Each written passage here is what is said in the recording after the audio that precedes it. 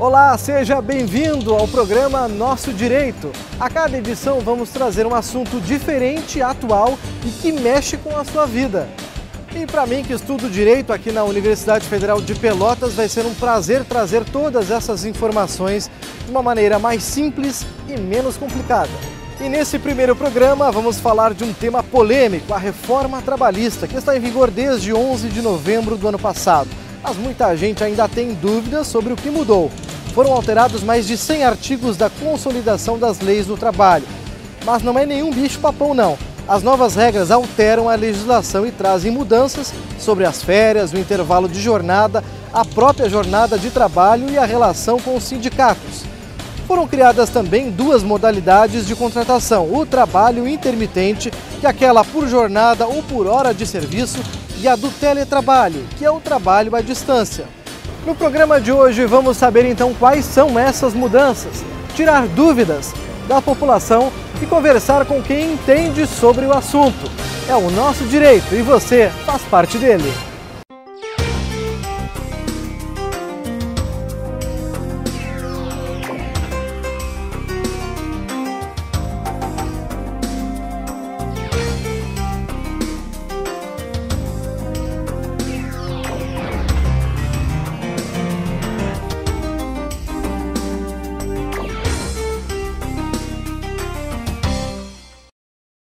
Reforma trabalhista ainda é um grande ponto de interrogação. O que, que tu sabe da reforma trabalhista?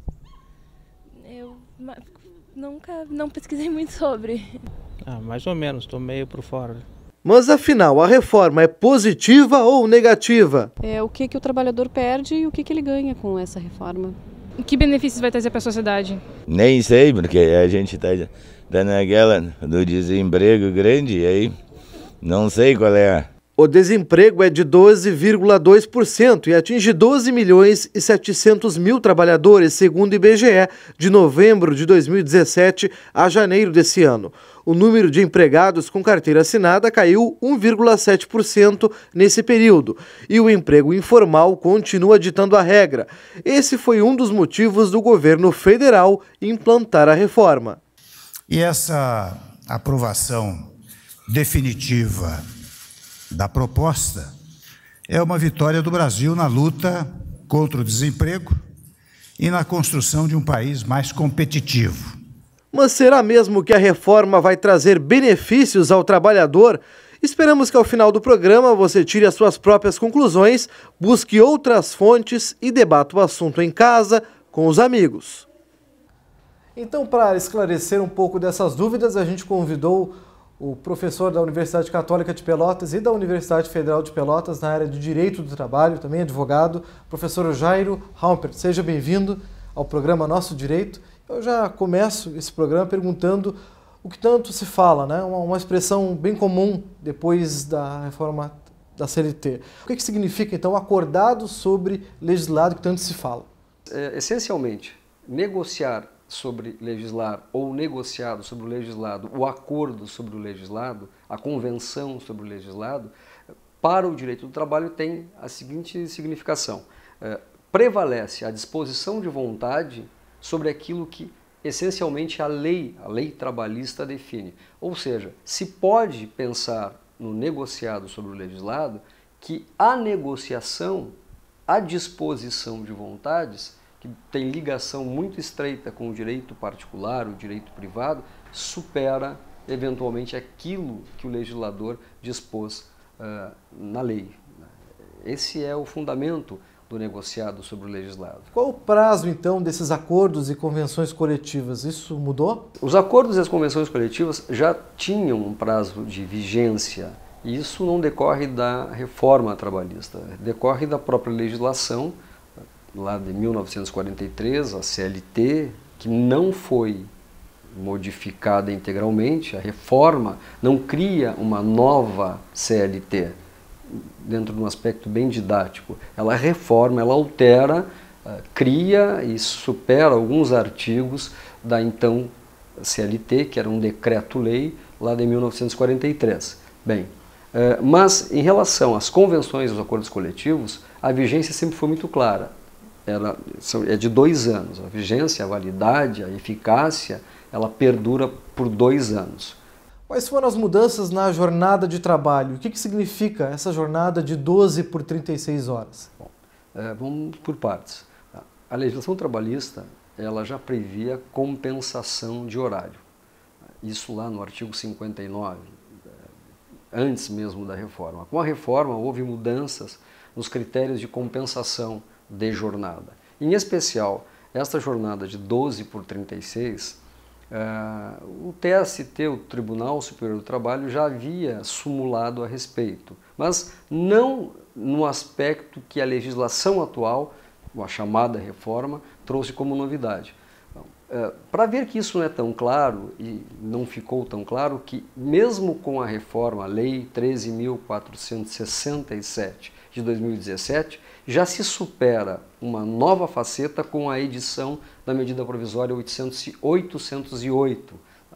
O que, que ela fundamentalmente cria? Uma compensação de horário em que o trabalhador ele se vincula por 12 horas e o descanso é de 36 horas. Qual é o ponto importante eh, da grande polêmica, fora a própria eh, compensação de 12 por 36? Que isso vem sendo debatido, eh, traz algum efeito ao trabalhador, isso prejudica a saúde, o descanso, enfim, mas objetivamente, nessa jornada compensatória de 12 por 36, uma situação é que ela só possa ser realizada mediante acordo e convenção coletiva. Ou seja, é preciso a participação de sindicato de trabalhadores que se envolvem na negociação ao ponto de poder estabelecer, sendo uma convenção, com um outro sindicato da categoria econômica, empregados, empregadores, empresários e empregados, celebram pelos seus sindicatos convenção coletiva. Sindicato de trabalhadores e o empregador ou a empresa celebram acordo coletivo que ele é mais específico a quem contrata. Bom, no acordo ou na convenção coletiva é possível a previsão da jornada de 12 por 36. Com a medida provisória 808, prevalece ainda a hipótese de poder ser realizada esta jornada, 12 por 36, e aqui a crítica que já se é, elabora, que já é uma construção eh, de discussão, aos profissionais de saúde, podendo fazê-la através de acordo individual.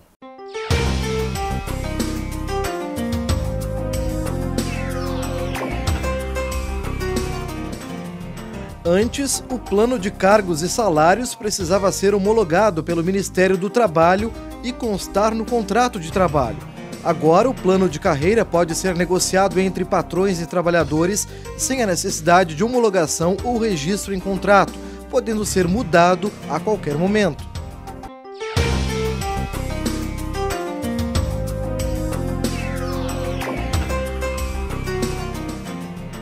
Antes, as grávidas ou lactantes estavam proibidas de trabalhar em lugares com qualquer grau de insalubridade e não havia limite de tempo para avisar a empresa sobre a gravidez.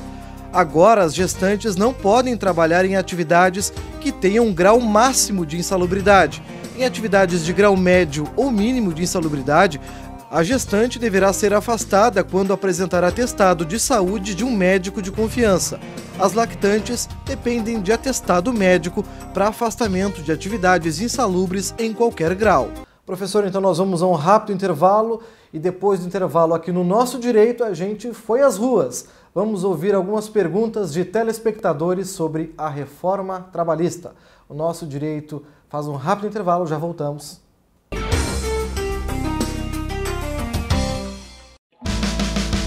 O esporte me ensinou muitas coisas. Uma delas é que não vale a pena usar substâncias proibidas.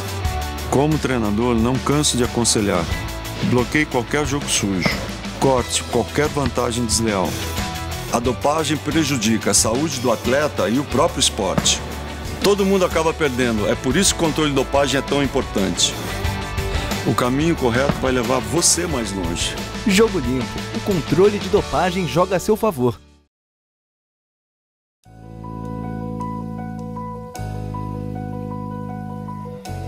Uma história marcada pela beleza da arquitetura e dos grandes acervos guardados aqui. Há mais de um século, a Biblioteca Pública Pelotense foi fundada, no dia 14 de novembro de 1875, com 900 volumes. Hoje, são mais de 200 mil títulos à sua disposição, além dos livros e dos mais de 60 mil periódicos guardados aqui. A biblioteca também conta com um museu instalado no porão do prédio. São objetos e peças que contam um pouco da história da cidade. Pelo clima que envolve o local, shows, exposições e saraus também têm lugar na casa, que chega a receber mais de 200 mil visitantes por ano. O segundo andar, além de um espaço multiuso lindo, convida à reflexão e ao relaxamento. Se você ainda não conhece, está convidado a visitar o prédio, fazer consultas aos livros, ler uma boa obra ou o jornal do dia e deliciar-se com um dos ambientes mais acolhedores de Pelotas. Todas as atividades, eventos e acervos da biblioteca são de acesso público e gratuito da população.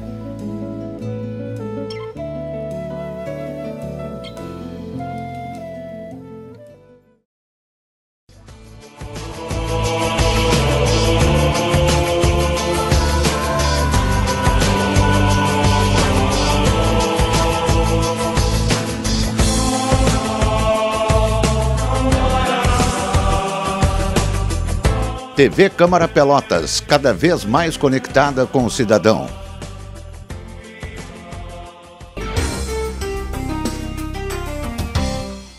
Nosso direito está de volta. O assunto de hoje é a reforma trabalhista. Estamos recebendo o professor e advogado Jairo Halper, especialista em direito do trabalho. Professor, nesse bloco eu começo perguntando então se houve mudanças em relação às regras de intervalo do trabalhador. Jornadas acima de 6 horas, uma, duas horas de intervalo, até 6 horas, 15 minutos. Mudanças, também hoje criticadas, e também ainda sem uma certeza da constitucionalidade ou inconstitucionalidade, da proteção à saúde, do descanso, é, que se diminuiria através de convenção e acordo coletivo, que era a última, ou melhor, a única hipótese para uma eventual redução para 30 minutos. Por falar em tempo, então, o tempo de transporte até a empresa contava com como jornada. E agora, como se dá essa relação? São as chamadas horas em itinerário, horas de itinerário, horas de percurso. Ela desaparece com a reforma porque a regra que se utilizava era a seguinte: quando o lugar era considerado de difícil acesso, não provido de transporte público, esse deslocamento acrescia-se a jornada. Era uma jornada considerada extra tempo à disposição do empregado ou empregador. Com a CLT reformada, desaparece essa figura. Essa é a novidade. Agora a gente tem perguntas de telespectadores. Começamos com o Iago Rocha, que é comerciário. Ele tem uma pergunta sobre teletrabalho. Vamos ouvir.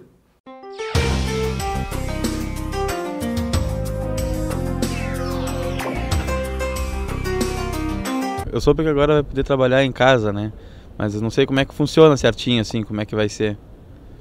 Da... Queria mais informações sobre isso. O teletrabalho vai depender do contrato individual e nele será possível estabelecer o teletrabalho, chamado home office, o trabalho realizado não necessariamente em casa, mas fora do ambiente físico do empregador, da empresa, uh, e isso será estabelecido essencialmente no contrato de trabalho, que também pode prever uh, o retorno ao trabalho no ambiente físico ou até mesmo a possibilidade desse misto entre o físico e o teletrabalho, mas essencialmente será disposto em contrato de trabalho individual. Professor, tem outra modalidade de trabalho agora nova, que é trabalho intermitente, que promete gerar mais empregos. Será que vai gerar mais empregos mesmo? Tenho minhas dúvidas. E tenho uma maior dúvida ainda se não será um elemento de precarização né, é, da contratação e do trabalho. O trabalho é intermitente, primeiro, quando ele não é contínuo. Né. Ele é intermitente porque dependerá da disposição do empregador em ter este empregado à sua disposição. E isso não é um, obrigatoriamente que se realize todos os dias, três vezes, quatro vezes por semana. É, se crê, por um outro lado, que se possa é, adaptar esse tipo de trabalhador a determinados serviços. Mas é, a crítica é muito acentuada a respeito do, da figura do trabalho intermitente, do trabalhador intermitente, porque ele gera vínculo de emprego. Né? E gera um vínculo de emprego que fica muito à disposição do empregador, querê-lo ou não e quando querer ou não. Os trabalhadores dependem de salário, dependem da sua sobrevivência essencialmente de salário. Né? E não há certeza né, do trabalho intermitente de uma forma contínua e a certeza do salário certo, contínuo e sempre. É óbvio que isso traz uma insegurança muito grande para o trabalhador. Agora temos mais uma pergunta das ruas. Vamos ouvir o Ademir Belchior, que tem uma dúvida sobre contribuição sindical. Vamos ouvir.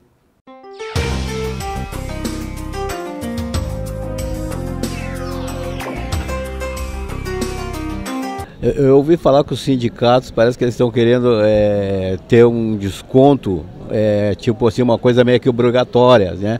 É, se caso é, o trabalhador não aceite desse, que seja feito esse desconto em folha, ele até corre o risco de, de, de, de receber pressão do, pra, do patrão e ser demitido. Então é uma coisa bem complicada ainda que não ficou esclarecida. É, a contribuição sindical ela foi obrigatória, obrigatória, era obrigatória até a reforma. Com a reforma, ela deixa de ser obrigatória, e aqui só estou transportando o texto da lei e não uma interpretação certa e derradeira, porque eu não tenho. Eu não sou o intérprete da lei para julgar ou para definir que ela seja adequada, não adequada, eh, constitucional ou inconstitucional. Eh, não é a minha função, não é a nossa função como operadores do direito que não estamos eh, no Poder Judiciário. Mas, pelo texto legal, não é mais uma contribuição obrigatória, que é a maior fonte de receita para a manutenção do sistema sindical, quer para os trabalhadores via seus sindicatos, seus, seus entes representativos, como também para os empresários. E essa discussão tem sido muito trazida no, no, âmbito dos sindicatos, das federações, das confederações, tanto patronais como de empregados. Como ela passa a ser opcional, pelo menos facultativa pela reforma, uh, a obrigatoriedade, por certo, ela não existe mais. Isso no primeiro aspecto, num plano muito concreto da leitura literal, da, da, da interpretação literal do que diz é, a CLT. Mas se discute se, através de convenção, por exemplo, por exemplo, não estaria contemplada a possibilidade de ser uh, novamente restituída, trazida no campo do direito como algo obrigatório. Por quê? Bom, se o negociado sobre o legislado é o patamar, o núcleo dessa reforma tão discutida, por que não, em convenção coletiva, estabelecer uma obrigatoriedade ou trazer isso para o plano do interesse da categoria? Agora, mais uma pergunta sobre férias é o assunto.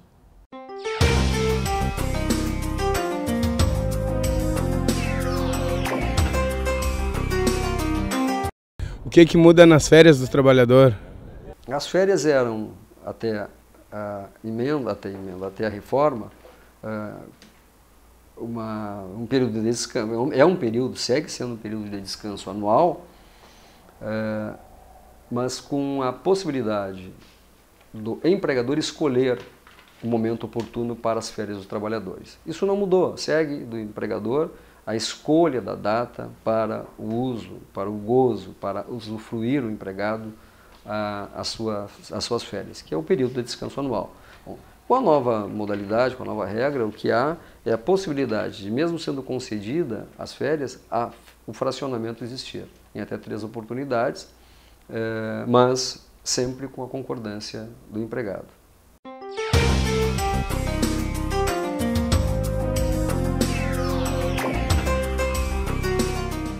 Antes, quando o trabalhador pedia demissão ou era demitido por justa causa, não tinha direito à multa de 40% sobre o saldo do FGTS, nem a retirada do fundo. Em relação ao aviso prévio, a empresa podia avisar o trabalhador sobre a demissão em 30 dias de antecedência, com cumprimento do prazo trabalhado pelo empregado, ou pagar o salário referente ao mês, sem que o funcionário precisasse trabalhar. Agora a regra segue a mesma, só que o contrato de trabalho pode ser encerrado de comum acordo. Nesse caso, com pagamento de metade do aviso prévio e metade da multa de 40% sobre o saldo do FGTS. O empregado pode ainda movimentar até 80% do valor depositado pela empresa na conta do FGTS, mas não terá direito ao seguro-desemprego.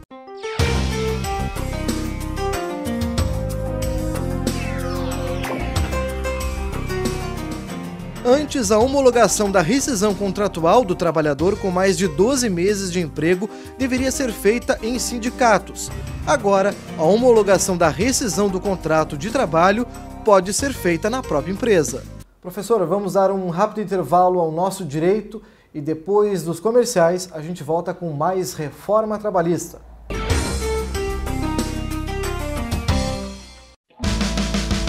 Eu dou a minha vida pelo esporte. Acordo, durmo, almoço, janto natação. Cuido muito bem da minha saúde para ser um atleta cada vez melhor. E não gosto de perder para quem não tem espírito esportivo.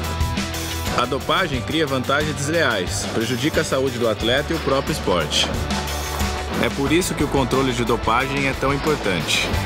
A gente tem que ser campeão também nas atitudes. Jogo Limpo. O controle de dopagem joga a seu favor.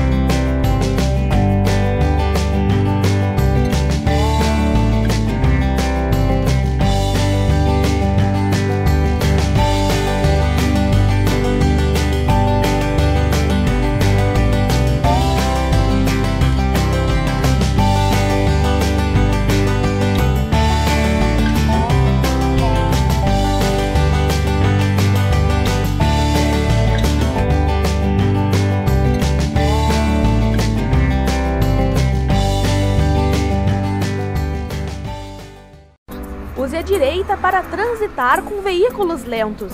Sinalize com o pisca para mudar de pista. Respeite a velocidade da via. Seja prudente, evite acidentes. Uma campanha TV Câmara Pelotas.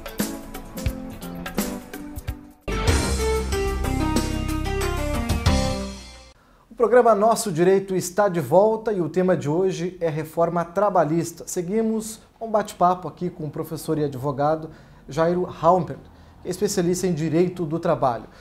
Professor, o que, que significa essa terceirização? Houve mudanças?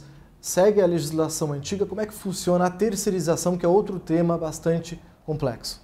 Na terceirização, a grande questão é: traz precarização nas relações de trabalho ou não?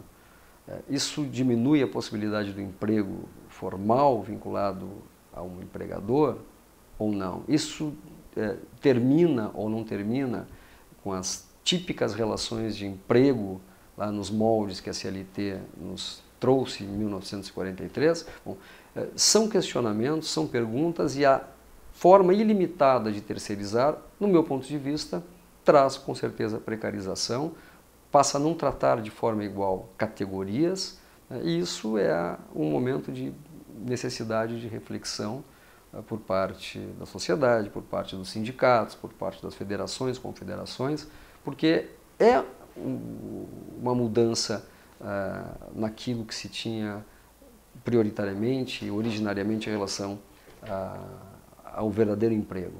Um exemplo, por exemplo, de terceirização que, que pode? Já havia a possibilidade de terceirizar trabalho temporário, por exemplo, limpeza, vigilância. Isso não foi novidade. Essa forma de flexibilizar, a terceirização é uma forma de flexibilização, ela já ocorria com a própria Lei 6.019 e posteriormente com uma adequação de súmula do TST, quase que uma, entre aspas verbais, quase que uma norma jurídica, súmula sendo tratada como norma jurídica, como regulamento, o que eu não concordo, mas que estabelecia a possibilidade dessa forma de contratação para vigilância, limpeza, eh, por exemplo, eh, e também pela Lei 6.019-74, a, a chamada figura do trabalho temporário.